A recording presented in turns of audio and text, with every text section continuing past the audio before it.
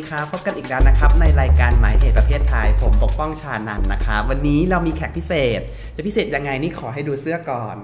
เพราะว่าเกี่ยวกับหัวข้อที่เราจะคุยกันวันนี้นะครับ เราอยู่กับคุณอาร์มตินนภพสินสมบูรณ์ทองครับผม สวัสดีครับคุณสวัสดีอาครัร์มบคุณอาร์มน่าสนใจมากคุณอาร์มจบจากจุฬาแล้วก็ต่อโทที่ LSE ก็จบมาแล้วนะครับใช่กลับมาครับอยู่ประเทศไทย ได้ทำงานวิจัยมีบทความหนึ่งที่น่าสนใจมากเกี่ยวกับเพจน้องงอเพจน้องนี่เองเพจน้องนะครับก็คือ เป็นเป็นปรากฏการณ์หนึ่งที่เกิดขึ้นใน Facebook เนาะแล้วก็ใช่ครับสร้างกระแสสังคมมากมายทั้งดีและไม่ดีเนี่ยมันจากเพจเล็ก ๆ เพจหนึ่งเนี่ยของคนที่มารวมตัวกันเนี่ยกลับกลายเป็นว่าสร้างประสบอ่าปรากฏการณ์ทางสังคมแบบนี้เนี่ยคุณอาร์มก็ได้ศึกษามาใช่ไหมครับว่ามันใช่ครับว่ามันได้คลี่คลายหรือว่ามันเป็นภาพสะท้อนสังคมยังไงบ้างใช่ครับใช่ครับก็คือบทความของคุณอาร์มชื่ออะไรนะครับเออจริง ๆ พัฒนามาจากบทความภาษาอังกฤษที่ไปใช้ เผยแพร่ในในในการประชุมนานาชาติที่เชียงที่เชียงใหม่ครับอ๋อเรื่องเออไทยศึกษาที่อ่าฮะเดือนประมาณเดือนกรกฎาคมที่ผ่านมานี่เองครับ แต่ว่าตอนนั้นเนี่ยเขียนเป็นเปเ paper ชิ้นใหญ่มาก แล้วก็เราพยายามย่อยมันให้เป็นชิ้นเล็กลง แล้วก็นำไปตีพิมพ์ในวารสารแห่งหนึ่ง ซึ่งกำลังจะตีพิมพ์ออกมาเร็วๆนี้ครับ ก็เป็นหัวข้ออัตลักษณ์รวมกลุ่มของสมาชิกเพจน้องง ในฐานะญาณวิทยา queer ร์เออเอ้ยน่าสนใจยานหนึ่งก็คือ queer epistemology ใช่ก็คือครับยานวิทยา queer แต่ว่าในในสังในสังคมอ่าวิทยาวิชาการไทยเนี่ยยังไม่มีคำว่า queer ที่ชัดเจนใช่ครับว่ามันแปลว่าอะไรใช่ครับมันมีบางคนบอกว่าเป็นคำว่ารักเพศวิทยา หรืออะไรแบบนี้เราก็ยังทำแม่งทำแม่งอยู่เนาะกับการนิยามความหมายภาษาไทยของคำว่า queer แต่ว่าในบทความเพจน้องของคุณอาร์มเนี่ย queer ของคุณอาร์มได้ก้าวพ้นไปเรื่องของเพศไปแล้วด้วย เรื่องเพศวิถีใช่ครับต่างๆ เป็นยังไงบ้าง แต่ก่อนอื่นขอถามก่อนว่าทำไมถึงมาสนใจเรื่องเพจน้อง เออจริง ๆเหตุผลมันเล็กน้อยมากเลยก็คือเราอะติดตามเพจน้องอยู่แล้วอืมทุกวันนี้ แล้วก็มันมีอยู่ช่วงหนึ่งซึ่งเพจน้องจะถูกโจมตีอย่างรุนแรงมากเลยว่าก็หลายทำไมครั้งเนอะถึงใช่จริง ๆ ก็หลายครั้งทำไม ทำไมเพจน้องถึงไม่รู้จักพอดีทำไมถึงจะต้องทำตัวไร้สาระ หรือว่าวิพากษ์วิจารณ์เรื่องศาสนา ซึ่งอันนี้ถือว่าล้ำเส้นเกินไปสำหรับสังคมไทยอย่างเงี้ยครับอ่าฮะแล้วก็มันจะมีอีกอันหนึงที่เป็นจุดเปลี่ยนเลยคือ เป็นภาพเปรียบเทียบระหว่างอาจารย์นักวิชาการสองท่าน แล้วเขาก็เอ่อบรรยายประมาณว่าคนหนึ่งพูดแล้วน่าฟังอีกคนหนึ่งพูดแล้วน่ารำคาญอืมแล้วก็เลยบอกว่าเนี่ยโพสต์บน Facebook ส่วนตัวว่าเนี่ย เป็นสัญญาณอันดีแล้วว่าทำไมเราถึงจะต้องศึกษาเพจน้องว่าที่มันดูแบบไร้สาระแบบนี้จริง ๆ มันมีเจตนาบางอย่างภายใน จริง ๆ มันมีเนื้อหาบางอย่างที่เราศึกษาออกมาได้ว่าทำไมไอ้ภายใต้ความไร้สาระเนี่ยทำเขาทำไปทำไมหรือว่า มันมีความหมายอะไรอยู่ในนั้น ทีนี้ก็เลยแบบสบโอกาสครับว่าอ่ามันมีโอกาสเข้ามาว่ามีมีงานประชุมทางวิชาการก็เลย เผยแพร่งานชิ้นนี้ที่นั่น แต่งานเอ่อขอถามวิธีการวิจัยก่อน คือได้มีการสัมภาษณ์กับกับแอดมินเพจไหมหรือว่า มีครับมีแต่ว่าใช่ไหมไม่ครับเยอะเท่ากับสัดส่วนที่เราเป็นเป็นผู้สังเกตการณ์อ่าฮะ แล้วก็เข้าไปวิเคราะห์ในในในตัวเพจนั้น ก็คือถ้าบอกสัดส่วนเนี่ย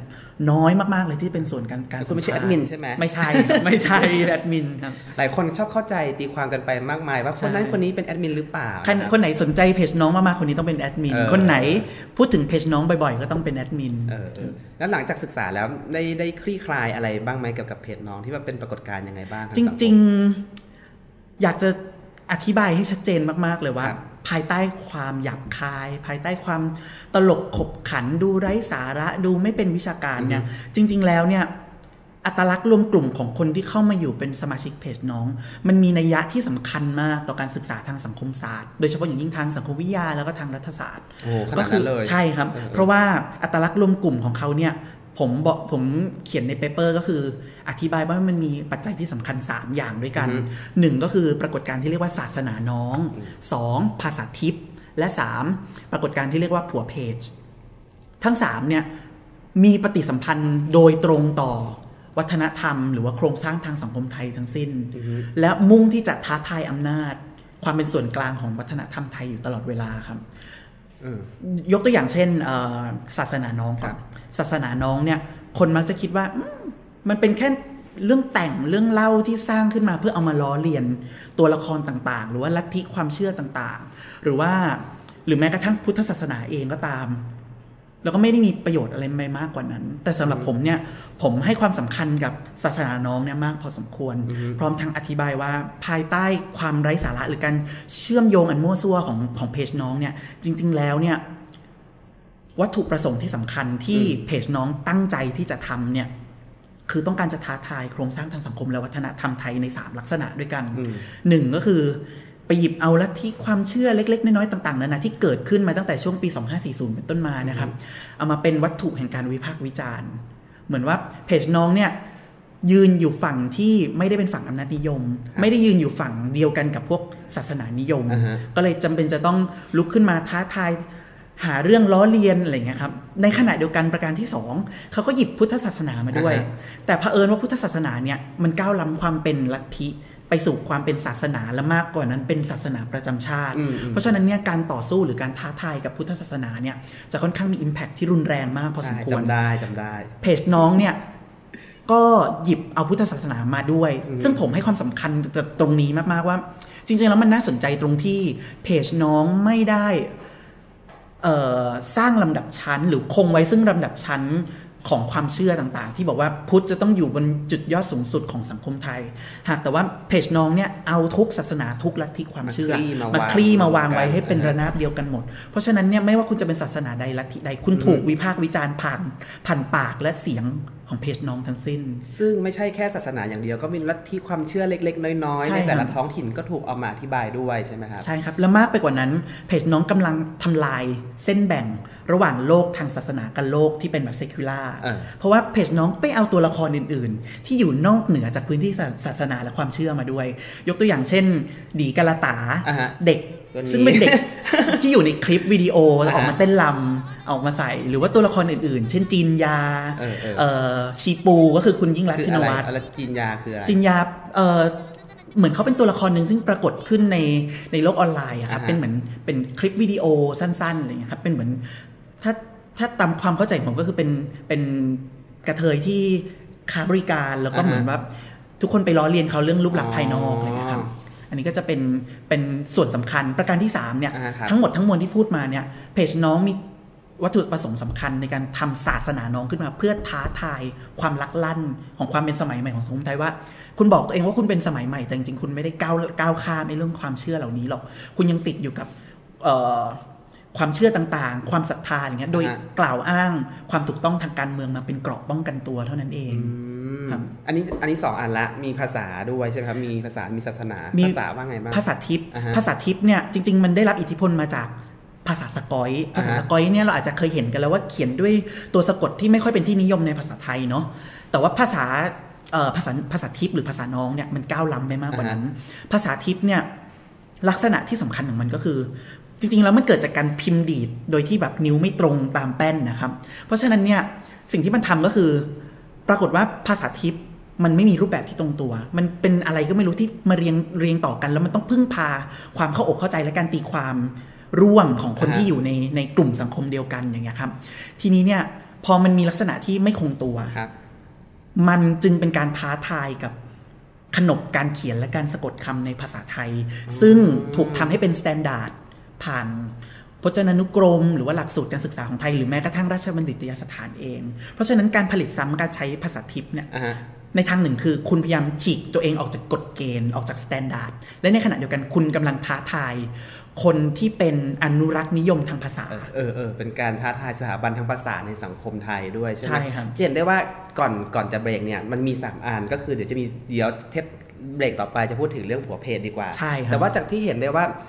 อาเพจน้องเนี่ยมันค่อนข้างถ้าจะมองว่ามันเป็นการรื้อรื้อสร้างโครงสร้างเป็นเป็นดีคอนสตรักมาก ๆ เลยที่ว่าเราจะไปเล่นกับภาษาเล่นกับความเชื่อที่เป็นโครงสร้างกระแสหลักสังคมอะครับมันก็ทำให้เราเห็นได้ว่าแหมจากสิ่งที่มันเป็นสถาบันหลักนะเป็นโครงสร้างที่ถูกนิยามเรียบร้อยเนี่ยเพจน้องเนี่ยได้เข้าไป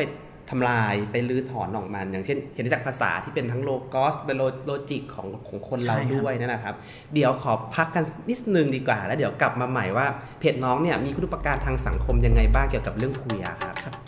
ลับ มาคุยกันอีกครั้งนะครับในเรื่องของเพจน้องแล้วก็คุณอาร์มนะครับผมเมื่อกี้ค้างไว้น่าสนใจมากก็คือเมื่อกี้คุณอาร์มพูดถึงเรื่องศาสนาน้องใช่ไหม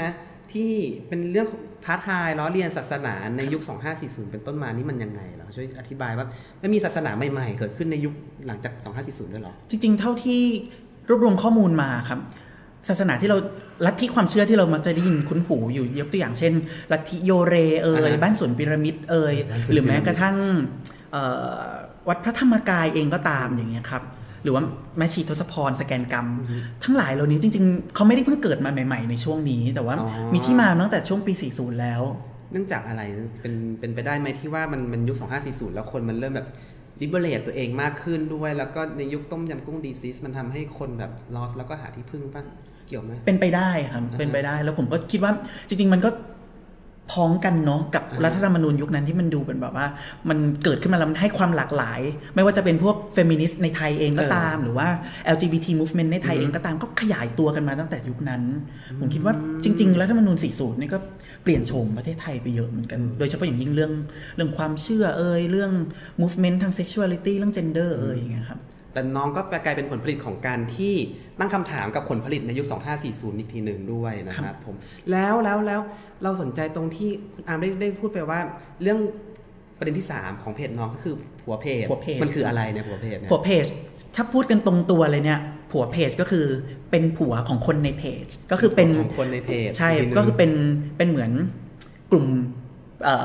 สมาชิกเพจผู้ชายหล่อๆหุ่นดีอะไรเงี้ยครับซึ่งเป็นเหมือนวัตถุทางเพศของของสมาชิกในเพจและแอดมินเพจใช่ไหมครับแต่จริง ๆ แล้วเนี่ยเราจะมันจะต้องแยกจำแนกคำว่าผัวเพจออกจากปรากฏการณ์ผัวเพจเออผัวเพจก็คืออย่างที่อธิบายไปเมื่อสักครู่นี้เนาะแต่ปรากฏการณ์ผัวเพจมันเป็นจริง ๆ แล้วมันคือความสัมพันธ์ระหว่างผัวเพจ กับน้องเงียนก็คือก็คือเออสมาชิกเพจครับคำว่าน้องเงียนเองเนี่ยจริง ๆ มันมัน carry ความหมายสองสองนัยยะมาด้วยกัน ก็คือเอี้ยนที่แปลว่าเป็นพวกเป็นชาวอย่างนี้ใช่ไหมครับชาวน้องเออแต่อีกอันหนึงคำว่าน้องเงียนเนี่ยมันก็ไปพ้องกับคำในภาษาไทยที่มันสะท้อนให้เห็นถึงแบบความปรารถนาทางเพศอ่านะฮะว่าพวกฉันเนี่ยมีความปรารถนาต่อผัวเพจ เพราะฉะนั้นเนี่ยปรากฏการณ์ผัวเพจ มันจึงไม่ใช่แค่ตัวผัวเพจ เท่านั้นแต่มันเป็นปฏิสัมพันธ์อำนาจ ระหว่าง ผัวเพจและน้องเงียนเพราะฉะนั้นเนี่ยจริง ๆ การจะศึกษาเรื่องเรื่องปรากฏการณ์ผัวเพจผมว่าเป็นเป็นเรื่องที่น่าสนใจและอยากส่งเสริมให้คนศึกษาต่อกันมาก ๆ เลย แสดงว่าเพจน้องนี่เขาตั้งสถานะตัวเองเป็นผู้หญิงเหรอ เออเขาอันนี้อันนี้จะเป็นความลักลั่นนิดนึงครับออออหรือเขาว่าเป็นคนที่ชอบผู้ชายหรือยังไง เขาสถาปนาตัวเองเนี่ย เป็นสิ่งที่อยู่นอก heteronormativity เออละหนึ่งแล้วนะอ่าฮะสองเขาเป็นเกย์รับ ที่เหยียดเกย์รับงงอันนี้ไหมครับ ก็คือเขาเนี่ยมองหาเขานี่คือเพจน้องหรือว่าตัวตัวเพจน้องตัวเพจอ่าฮะตัวเพจน้องเนี่ยมองหาความเป็นชายอันล้นพ้นความเป็นชายในร่างเกย์ต้องไม่ใช่ความเป็นชายในชายแท้ด้วยนะ มองหาความเป็นชายในร่างเกย์เพื่อมาเป็นวัตถุทางเพศของตน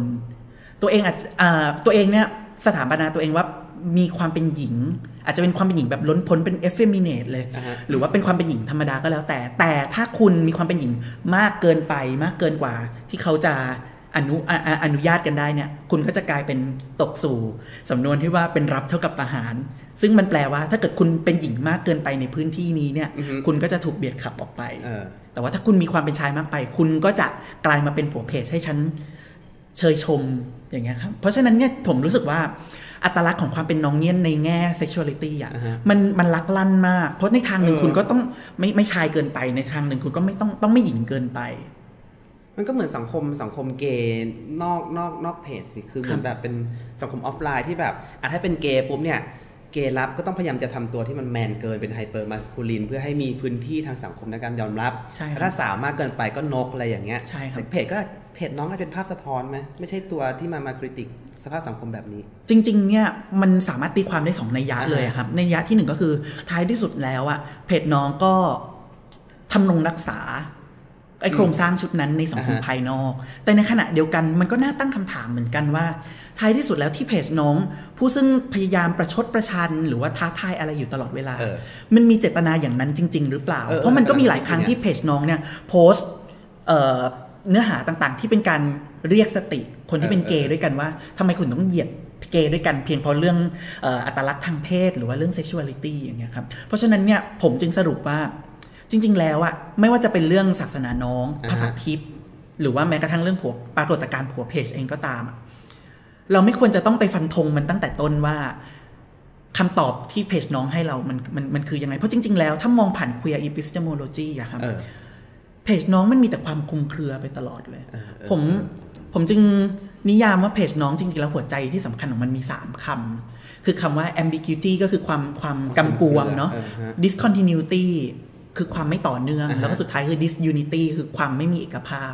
โอ้มันเคลียร์มากเลยนะมันถ้าเคพูดลียอร์งงี้มากเลยครับ เพราะว่าเพจน้องมันต้องการทำทำท้าทายและทำลายเออ standardization หรือว่า standard ต่าง ๆ ไม่ว่าจะเป็นเรื่องมิติอะไรที่ทั้งเกี่ยวข้องกับ gender sexuality และไม่เกี่ยวข้องกับ gender และ sexuality เลยก็ตาม ด้วยความตั้งใจหรือไม่ตั้งใจก็ตามใช่ครับไหมแล้วแสดงว่าเนี่ยไอ้พูดถึงเรื่อง queer epistemology เนี่ยอยากให้อธิบายให้หน่อยเพิ่มเติม เพราะว่าถือว่าใหม่มากในสังคมไทยที่แบบทันที่เราพูดถึง queer ปุ๊บ เราจะเห็นภาพ LGBT ลอยมาแล้ว หรือว่า queer เนี่ยก็คือล่มหนึ่งของ LGBT ที่ ที่มันจะไม่กว้างออกไปเกี่ยวกับเรื่องเพศหรือเรื่องเพศวิถีเพศสภาพเนี่ยคือแต่ว่า queer epistemology เนี่ยมันเป็นสิ่งที่เรียกว่าสิ่งหรือเปล่าไม่รู้แต่มันก้าวข้ามความหมายของเพศสภาพเพศวิถีด้วยใช่ไหมใช่ครับ จริง ๆ นับตั้งแต่ปี 1990 เป็นต้นมาอ่าฮะครับเคลียร์มันเริ่มขยายตัวมากขึ้น เราเริ่มพาตัวเองปลดตัวเองออกมาจาก LGBT movement เออเพราะเขาเชื่อว่า LGBT movement โดยเฉพาะอย่างยิ่งในปี 1970 เนี่ยอื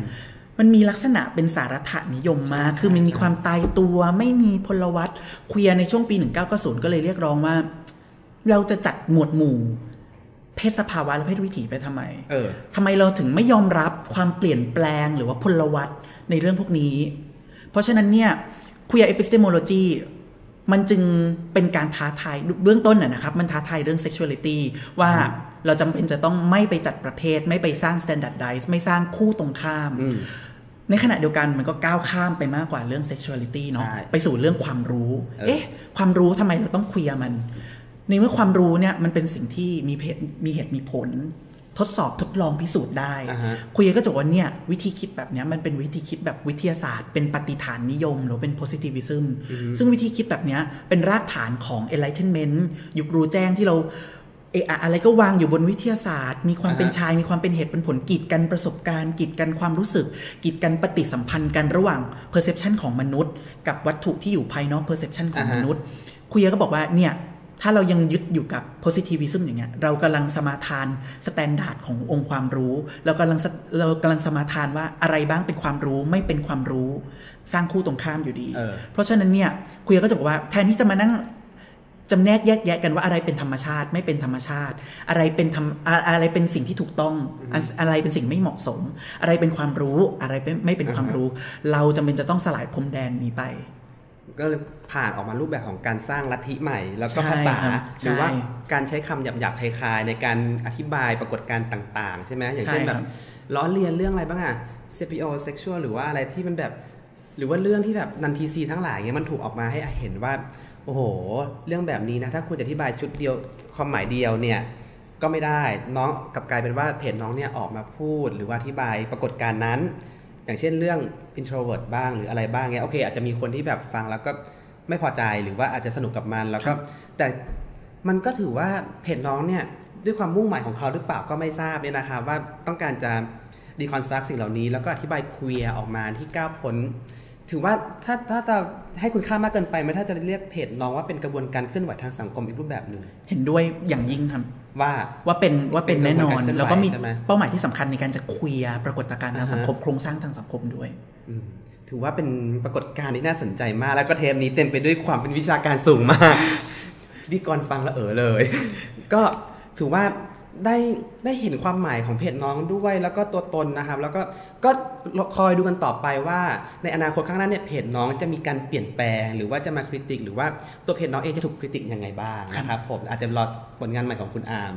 บทความใหม่หวังนะครับว่าครับครับผมก็รายการหมายเหตุประเทศไทยขอจบลงเพียงเท่านี้นะครับ ต้องขอขอบคุณคุณอามมากนะครับผมแล้วก็ขอบคุณผู้ชมครับ สวัสดีครับ